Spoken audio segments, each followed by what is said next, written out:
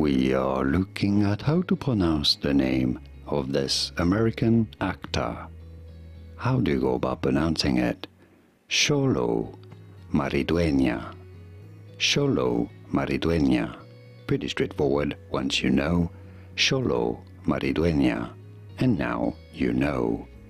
Here are more videos on how to pronounce more celebrity names whose pronunciations aren't exactly always obvious. I'll see you there to learn more.